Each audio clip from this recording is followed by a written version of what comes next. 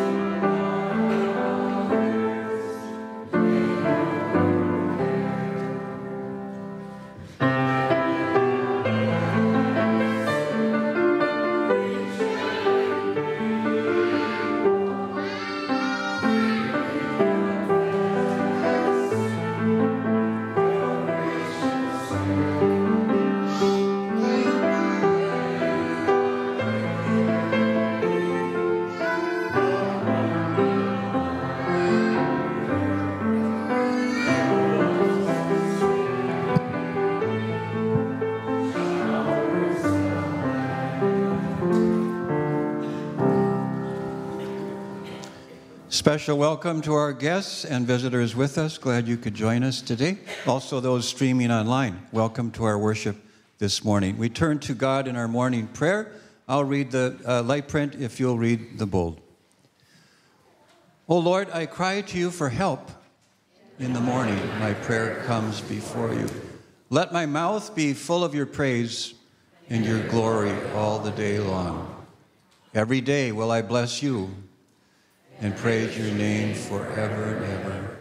Awesome things will you show us in your righteousness, O God of our salvation, O hope of all the ends of the earth and of the seas that are far away. Bless the Lord, O my soul, and all that's within me. Bless God's holy name. You redeem my life from the grave and crown me with mercy and steadfast love. Lord, hear my prayer let my cry come before you. Our next hymn, Eternal Father, Strong to Save. Let us be mindful of the many who have been affected by Hurricane Ian this week.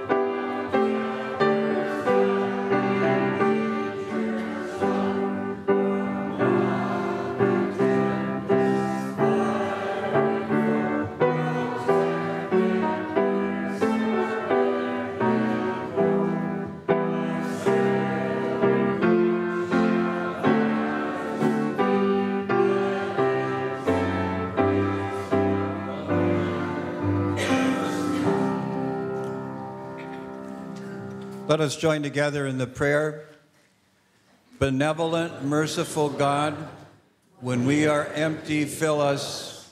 When we are weak in faith, strengthen us.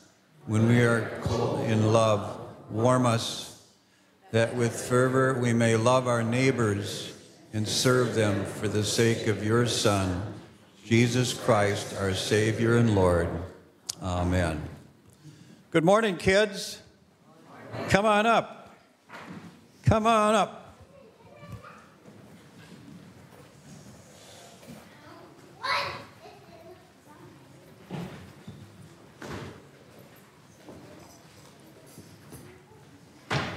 Come on up and uh, somebody want to hold that for me?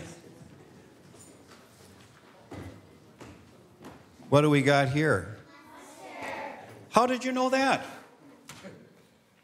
It says it on it, yeah. And what do you use mustard on? Hot dogs, yep. You like them on hot dogs? Anything else? Ketchup? uh, onions, pickles, but mustard. You, how about bratwurst? You got to have mustard. You know where mustard comes from? Look at here. What's in there? Can you take one out? Can you hold it up for all the people to see it? Can you see that mustard seed? Yeah, they can't see it too good, but I can see it. They're pretty small, aren't they? And just think there's a mustard museum in Wisconsin. I'd like, I got to go there sometime. Anybody been to the mustard museum? How is it? Fabulous. You get hungry there? Yeah. I would think, yeah. So, little seeds produce a big jar of mustard. Now, what does that have to do with you and me?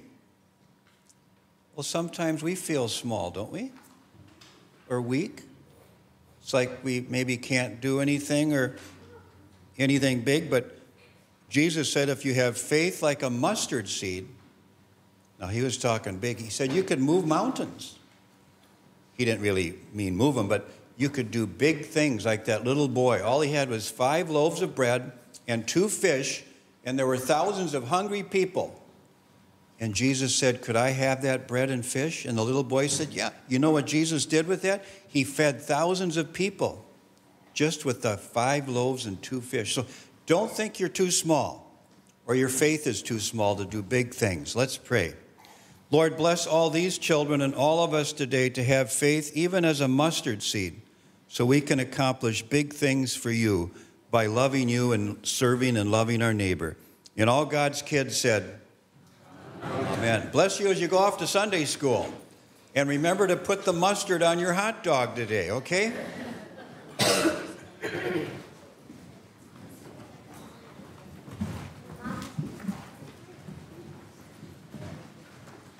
Thanks to Kevin Prill for reading the uh, good word for us today.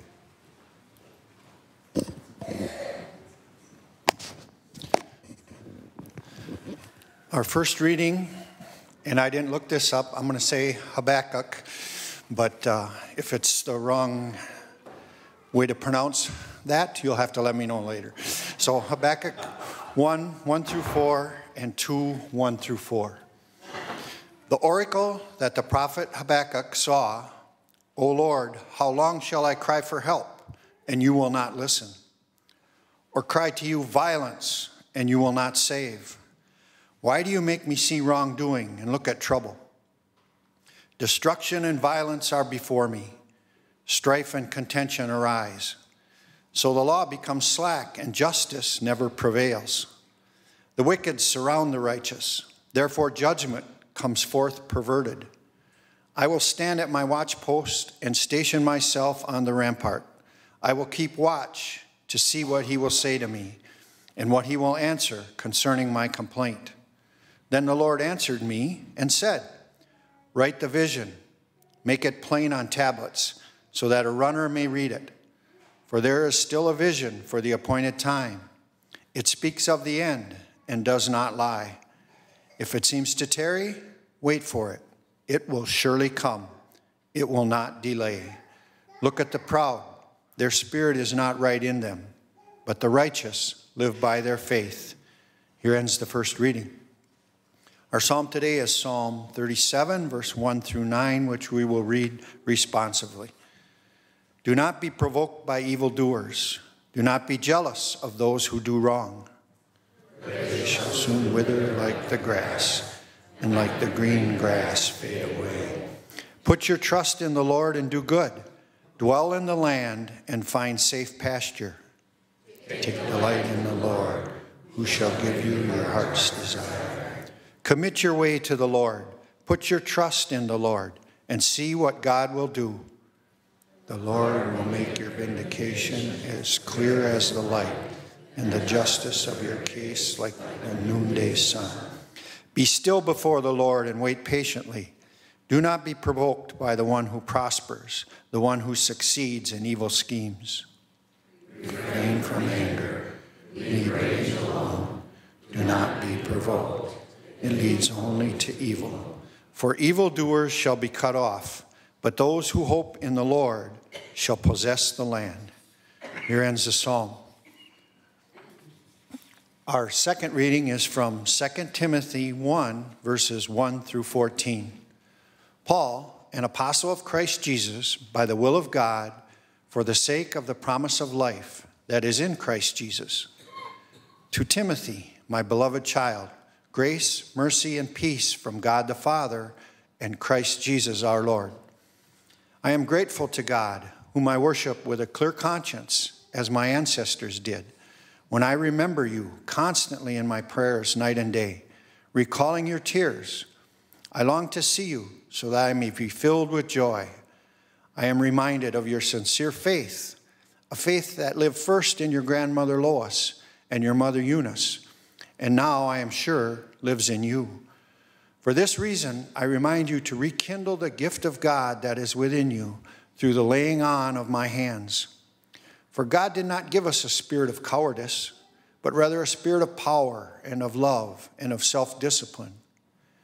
Do not be ashamed then of the testimony about our Lord or of me, his prisoner, but join with me in suffering for the gospel, relying on the power of God who saved us and called us with a holy calling, not according to our works, but according to his own purpose and grace.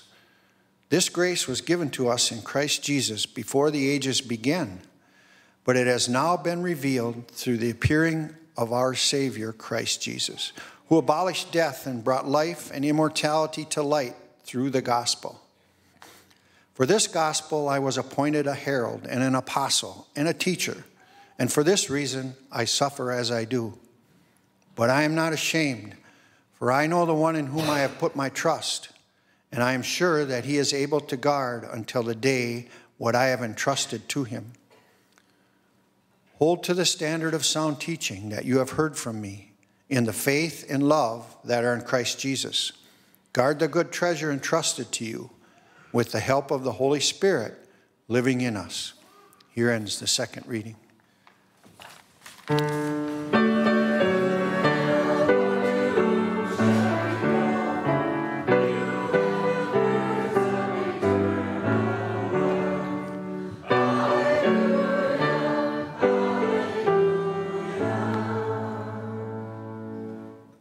Holy Gospel according to Luke. To you. The apostles said to the Lord, Increase our faith. The Lord replied, If you had faith the size of a mustard seed, you could say to this mulberry tree, Be uprooted and planted in the sea, and it would obey you. Who among you would say to your slave who has just come in from plowing or tending sheep in the field, Come here at once and take your place at the table? Would you not rather say to him, Prepare supper for me, put on your apron, and serve me while I eat and drink? Later you may eat and drink. Do you think do you thank the slave for doing what was commanded? So you also, when you have done all that you were ordered to do, say, We are worthless slaves. We have done only what we ought to have done. The Gospel of the Lord. Praise to you, O Christ.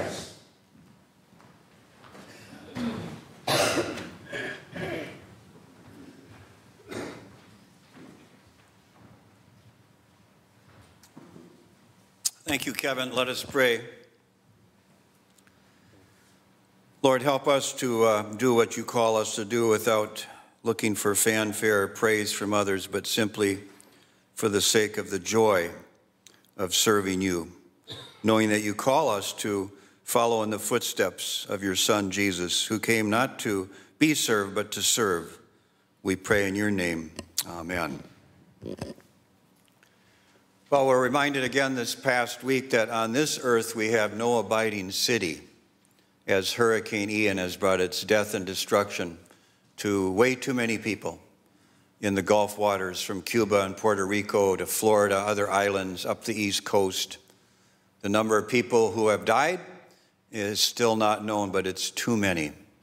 People missing, still not known, but too many homes destroyed, businesses, beautiful beaches destroyed, all in one swooping storm. On this earth we have no abiding city. Man knows not his time, the Bible reminds us. Gordon Lightfoot wrote a song, after a storm had taken down a ship called the Edmund Fitzgerald. And he writes in the song, Where does the love of God go when the minutes turn to hours? Where does the love of God go when the waves turn the minutes to hours?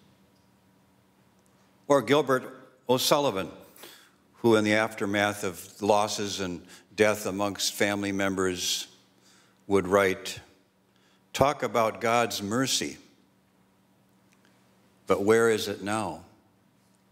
Uh, alone again, naturally, he writes, after many losses, alone again naturally. If God really does exist, why would he desert me? In my hour of need, left again indeed, alone again naturally. It's a haunting song. It's a depressing song in many ways, very sad, but we know for many of us, those feelings arise in times of storms, tragedy, in times of loss. Yeah, where does the love of God go? Why have you deserted me? Are honest, heartfelt expressions from all of us in times of trials and difficulties. But then there's that beautiful poem, Footprints. Many of you know it. Maybe you've memorized it. Where the traveler is walking along, looking back at the footprints in the sand. And for a long time, there were two sets the traveler and God's. But then the traveler sees only one set and says, God, where were you when I needed you the most? There's only one set of footprints. And then the Lord speaks, Son, I'll never leave you nor forsake you. When you see one set of footprints, those are mine when I was carrying you, when you couldn't carry yourself. Viktor Frankl has said, We can't control things that happen to us, like storms, like sickness or death. Frankl lived through three concentration camps during the Holocaust. But he said we can control how we respond.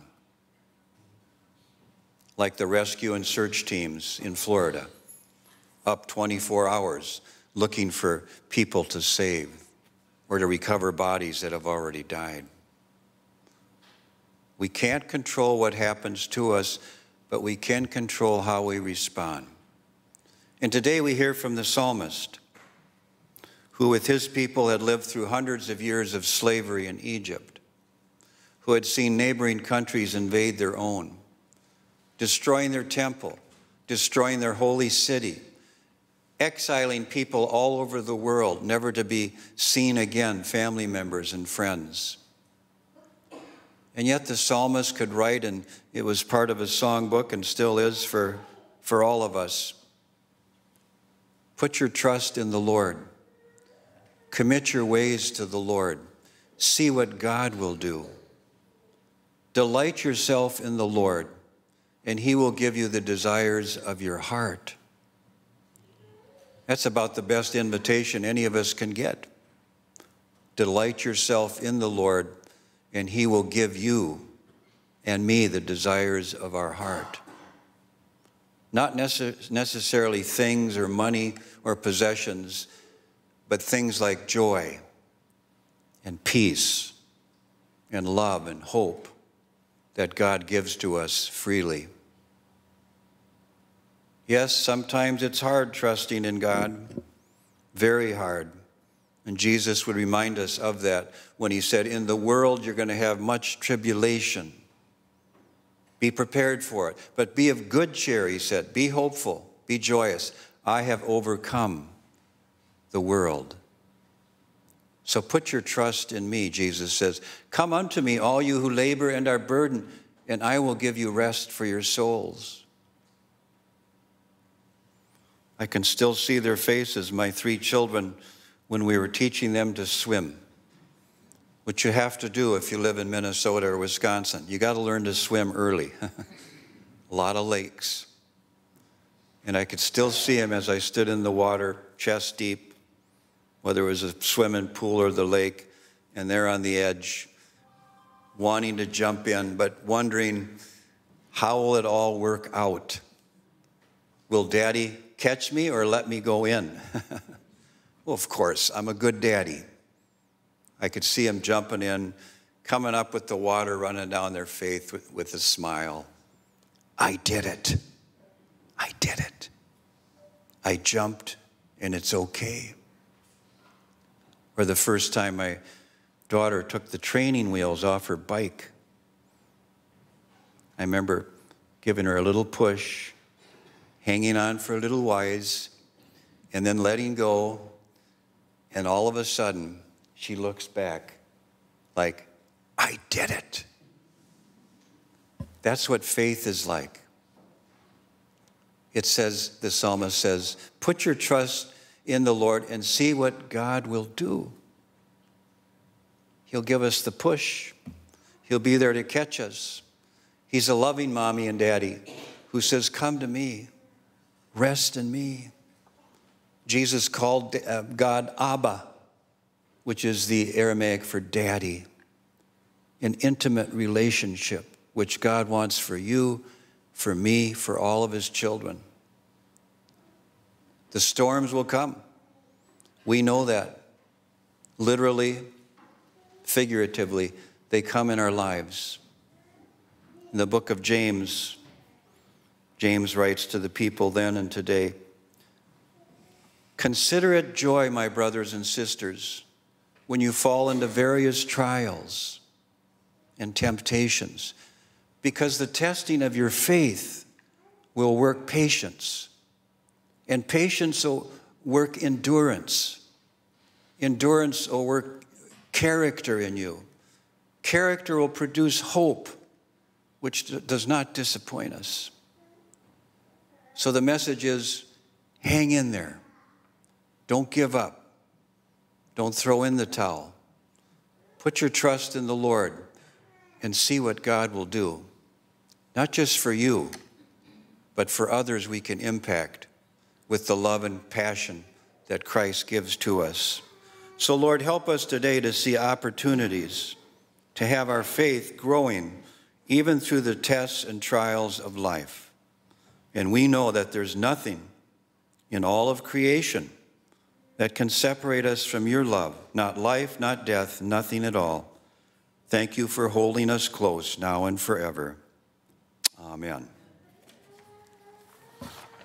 Let's join together in singing Lord of all hopefulness.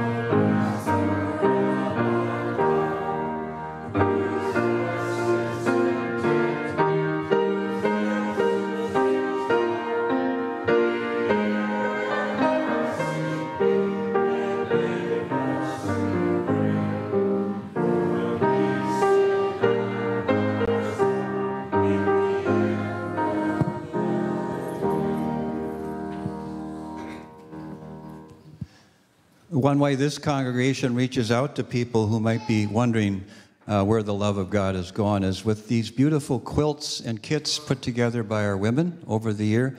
And they may very well go to some of the people affected by the hurricane. And they're a sign. They're a sign, like a sacrament. They're a sign that God is not abandoning you, that God is with you. So let's pray for the quilts and the kits. Let us pray, O Lord our God, maker of all things. You have blessed us with so many gifts a good eye for color, the ability to make fine stitches, the skills to develop ever new and exciting patterns. Now we offer the fruits of our labors, the quilts we have made to you. We dedicate these quilts and kits to your service, trusting that your love will go wherever each quilt and kit is sent making it more than just a piece of material, a collection of items, making each piece we have created an expression of love. There is no way for us to image the power and effect an act of love can have on a person's life. How you can make something as small as a quilt, a baby care kit, a school kit, to radiate your love from us to the world. May these be used in your service and become blessings for all those who receive them. Lord, we know that we all possess comes from your loving hand. Give us grace to honor you with all of our being.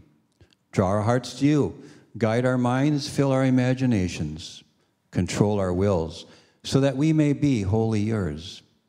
Use us as you will, always to your glory and the welfare of your people.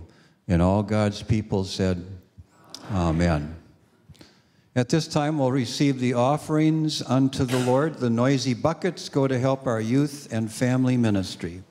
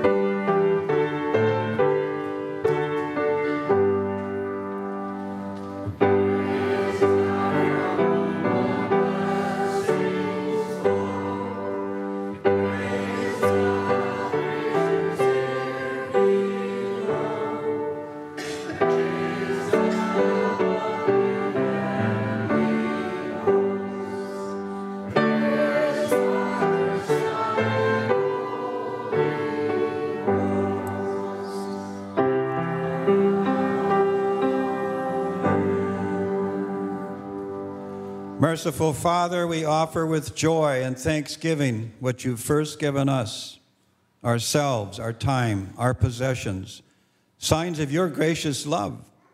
Receive them for the sake of him who offered himself for us in the world, Jesus Christ, your Son, our Lord, who in the night in which he was betrayed took bread and gave thanks, broke it and gave it to his disciples, saying, Take and eat. This is my body given for you. Do this in the remembrance of me. And then after supper, he took the cup, gave thanks, and gave it for all to drink, saying, This cup is the new covenant in my blood. It's shed for you and for all people for the forgiveness of sin. Do this in the remembrance of me. And when you pray, pray, Our Father, who art in heaven, hallowed be thy name. Thy kingdom come, thy will be done on earth as it is in heaven. Give us this day our daily bread, and forgive us our trespasses, as we forgive those who trespass against us. And lead us not into temptation, but deliver us from evil.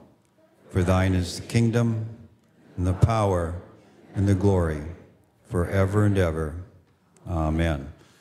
There's gluten free uh, wafers in the center of the bread tray for those that need. There's wine or grape juice in the center of the wine tray for those that prefer. We'll do communion continuously with two lines.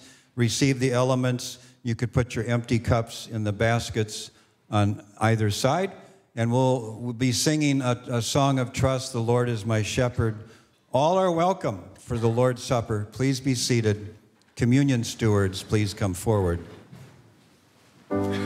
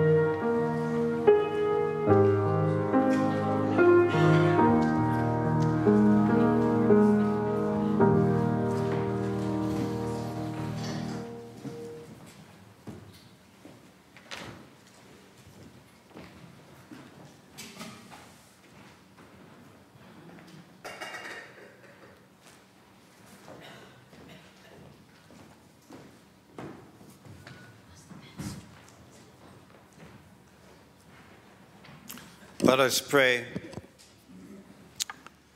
We give you thanks, Almighty God, for this healing gift of life, the body and blood of your Son, Jesus Christ, our Lord, to heal us and forgive us, to unite us and strengthen us and keep us in your grace. And today we pray especially for your grace and compassion to be known throughout the world, where people call out for peace, for justice and comfort and hope. We pray for the poor and hungry, for the refugees and immigrants. We pray for those caught up in the strife and violence of war, like our brothers and sisters in Ukraine, and speed the day when there's peace and justice for all.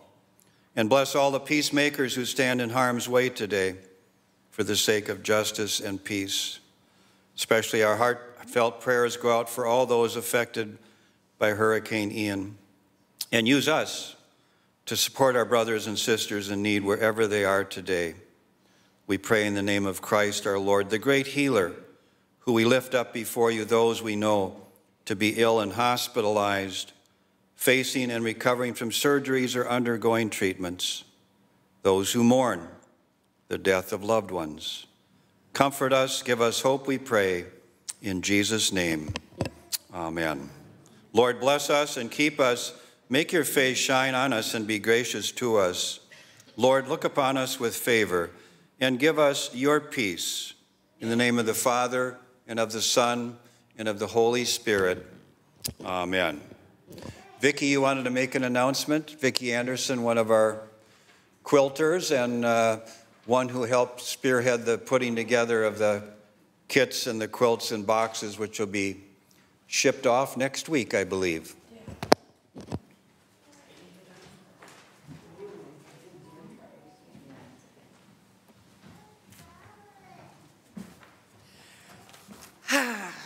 Hi, everyone. You look all so good. Um, I'm here to give you the kits and quilt count, but I need you to also say that the women of this ELCA, our mission is to mobilize women to act boldly on their faith in Jesus Christ. And our women in this project of Lutheran World Relief they go above and beyond. Our quilt makers. We have silent people that come and help people that don't even belong in our church that gives. So we are very, very grateful. And you heard my name is Vicki Anderson, and Lois Hartman is also my helper in this task of stewardship for uh, organizing quilts and kits. We have, are, they're all sitting out there to be shipped out, and thank you, Robert Carlson. Thank God for him for all his hard work he does for us women. Uh, uh, we have 160 quilts um, being shipped out, 42 baby kits, 60 school kits, 34 health kits, four sewing kits. The sewing kits is fabric and, and thread, and that's for the women for to earn money. They use these fabric and kits to make items to sell, and they provide for their family. And uh, uh, 31 uh, baby blankets that were too heavy to put in uh, uh, kits, and uh, eight between 24 and bigger sweaters that were too big to put in a kit, kits. And so now that, uh, so, so now we shipped out 140, but 10 goes to food shelf, five goes to Benjamin, uh, five goes to the nursing home, and eight we keep on hand for whoever is in need of a quilt before we start making them again. So,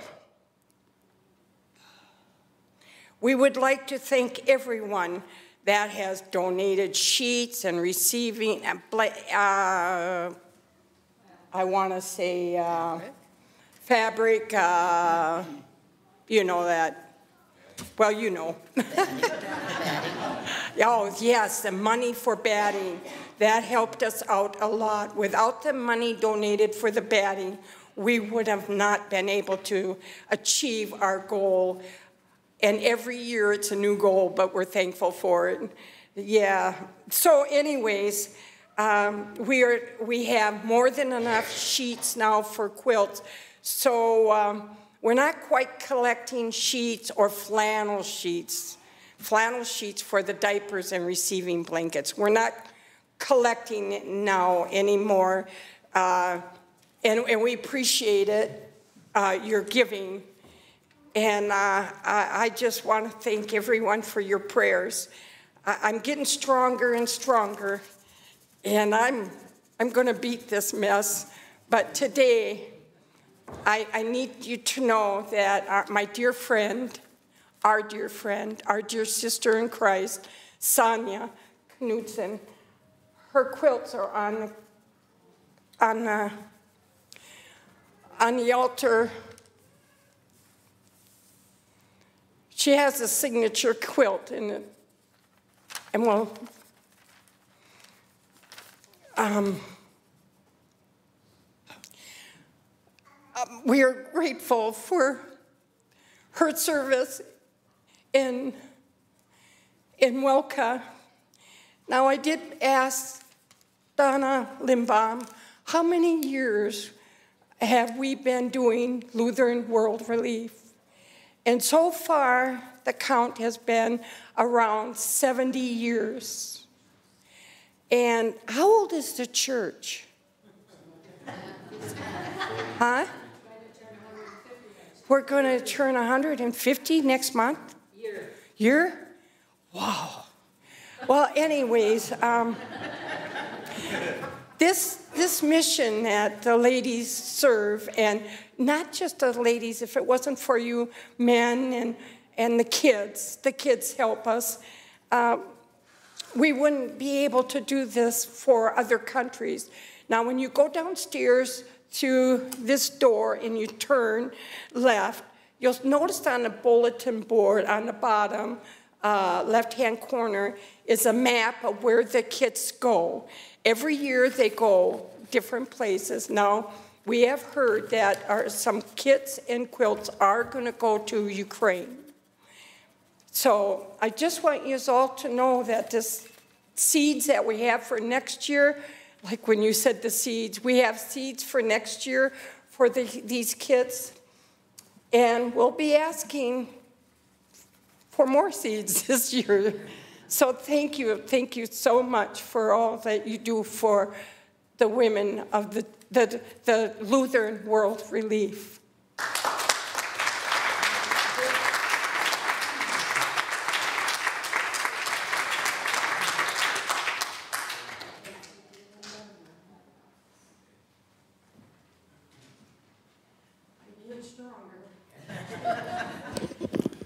Thank you, Vicki. That's a heartfelt thank you, and we do continue to pray for you and your, your recovery and health and renewal.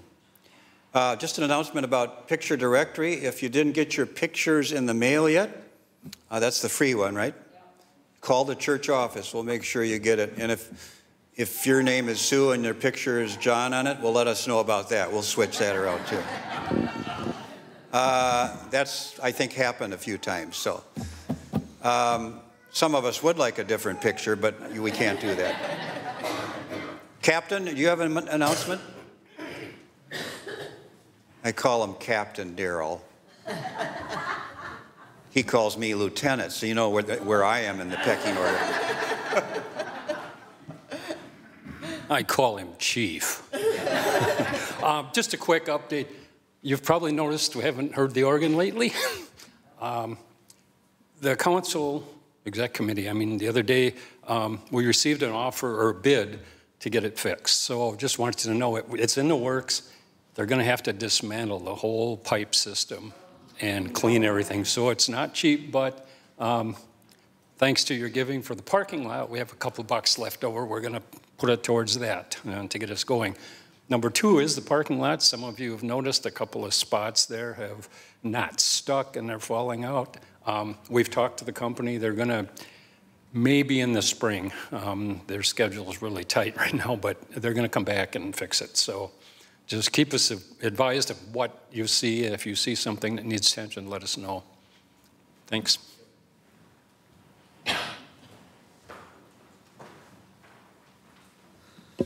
Thanks to Rita for playing today, and uh, Rick and Kathy for getting us on the web, and thanks for our kids helping out with our closing hymn. Uh, we'll, we'll, wait a minute, Rita, so they get and come on up on the dance floor.